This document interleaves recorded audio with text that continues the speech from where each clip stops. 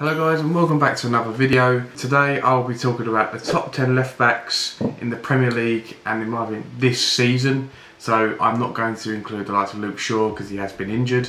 So take that into note as my top 10. If you do go on to like the video, don't forget to like and subscribe and leave a comment down below your top 10 or if you disagree with any of my picks, which you probably might. So let's get into it. First up I have Alfie Doughty. Now I know what you're thinking, oh it's his first season in the Prem. Right, how well has this man done for Luton? Granted, Luton were predicted to come last, yet this man has one goal and seven assists this year. For, for a Luton side who had just been promoted, for, for a guy who no one even heard of until this year, if you're a Premier League fan, he, has been nothing short of unreal. He's been one of the, one of their best players this year. Seven interceptions as well, so he's great getting the ball and bloody running with it down down their left hand side, playing playing the five back, playing that wing back role. He does it so so well, and I can't fault him. So he is at my number ten spot. At nine, I have Milos Kerkez. Um, I just think for a side that I've really surprised people this year. Obviously, you have the, the stars of Dominic Solanke in their forward line at the moment. But really, so you look at their back line, they have done a good job and Kerkez has been a big part of that. He, he, come into this side fresh from AZ Alkmaar, fresh out of 20. He's still yeah, he's 20. He 44 tackles and 19 interceptions. The bloke, the bloke has done really well this year, and from what I've seen of him, there's a lot to come from him. So yeah, he is at my number nine spot. Eight. I have Lucas Digne. Now, I could have put Alex Moreno here, but from judging of what I've seen of Aston Villa. I've seen more of Digne than I have of Alex Moreno, so I cannot really comment. Aston Villa fans, if you think that Moreno is better, put it down in the comments because it was a tie-up between them two for this spot. One goal, three assists. I mean, it's not his most productive year. Uh, there's been seasons he's got seven, eight assists, stuff for Everton. But also played for Barca, didn't he? So, and, and I think every time he does play, I feel like he, he, he does put a dangerous cross in a lot of times. But not only that, he's kind of solid defensively. 24 interceptions, that doesn't go unnoticed really. But yeah, from what I've seen of him, and with a really, for Aston Villa side, of flying high and kind of getting their prediction very right. The left back spot has been kind of solid with uh, Digne and Alex Moreno, but for me, Digne just edges it out as being the better left back. Number eight, Digne. At number seven, now probably a bit of a controversial one, I'd say, but I've gone for Ben Chilwell. Yeah, before the whole Todd Boehly thing took over, he was a very, very good left back. But I feel like as he's gone into a five, and as he's and Pochettino has, has took over, I don't know. He's been he's been a little bit shaky, and even even when I saw him for England against Belgium, he he, he was he was shaky as well. He's I don't know what it is with him. This is higher at seven because of what he has done and how well he can be. But this season, if he's had, if, if it's if it's a bad performance, it's bad. Like it is. Honestly, you couldn't everything be on him. But if, if it's a good performance, you go under under the radar because Cole Palmer would steal the show. But I feel like he does play a crucial part of, of that back five, and I feel like he can be a leader as well. So he is at number seven. Six, I feel like I've cheated on this one because I've gone for two players that play for the same club and I couldn't I couldn't really bring myself around to picking one of them and it's the Arsenal left back duo of Alexander Zinchenko and Jakub Kiwior mainly because they're both really solid from what I've seen of them but they're two completely different players at left back you've got Kiwior who is great defensively, can, can play out from the back and stuff like that. You won't see him bomb up the line. You won't see him putting crosses in. You won't see him doing uh, him going into midfield and playing that kind of six role. Whereas with Zinchenko, very good on the ball. Passing range is very good. Captain for his own nation. I feel like six is fairly reasonable for these two. So yeah, and from what, to be fair, what I've seen of, of, of both of them, I haven't really seen a performance where I've gone, yeah, you, they've been really, really bad.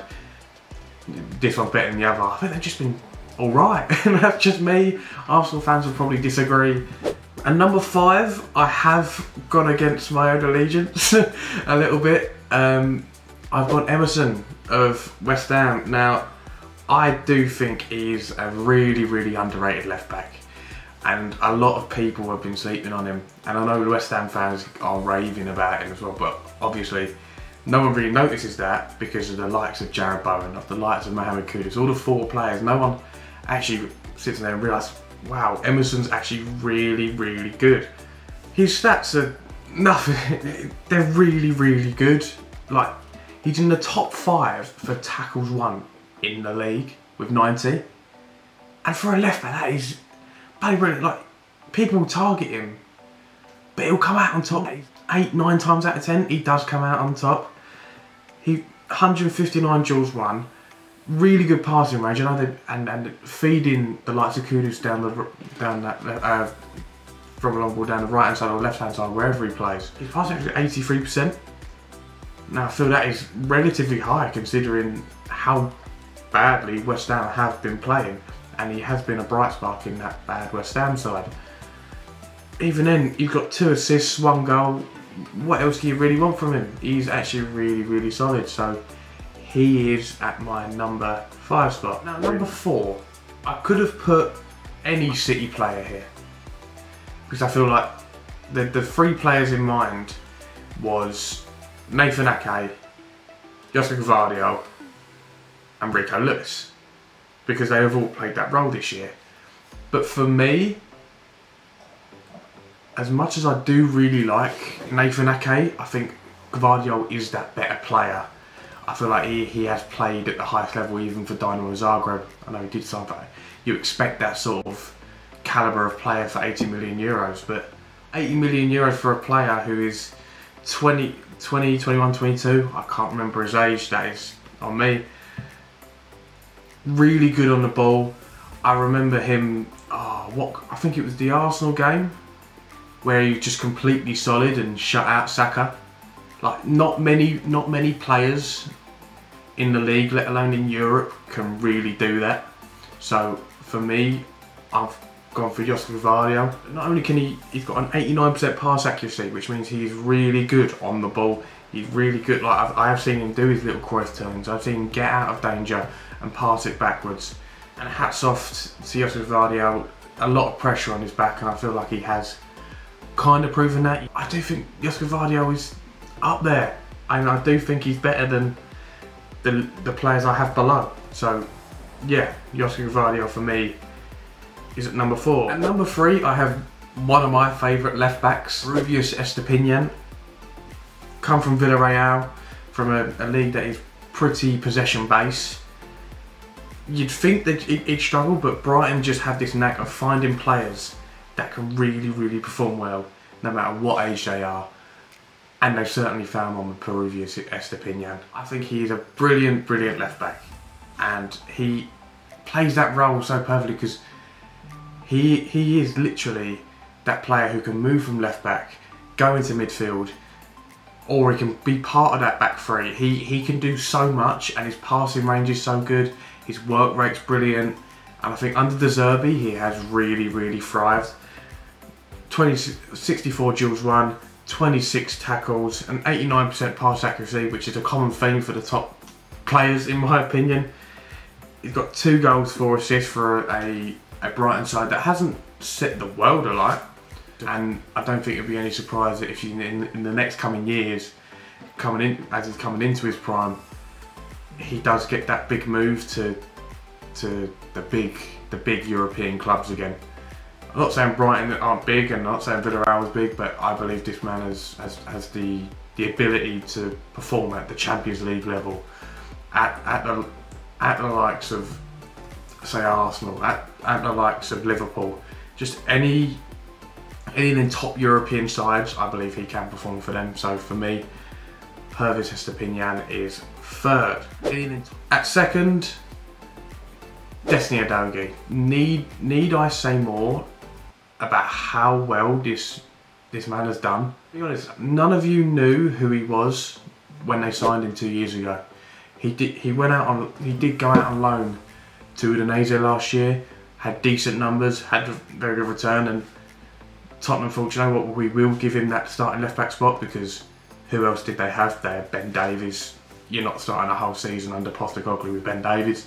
So yeah, he went there. 21 years old and he's done a brilliant, brilliant, brilliant job. He has been nothing short of, of, of sensational, in my opinion. It just goes to show that no matter what age you are, you can just really perform in, in, if you've got the right system around you. And I feel like Postecoglou has got that in the player with Destiny Udogie, and to, to be that young and perform at such a level where you are classed as one of the best left backs in the league the first season you're there. For me, I just think he is the the ultimate left back. He can defend, he can attack, he can cross, he can he can pass, he can. I think with two goals, three assists for a guy in his first season in the Premier League, for, for a Tottenham side that have revolutionised under a new manager, with and, and life without Kane.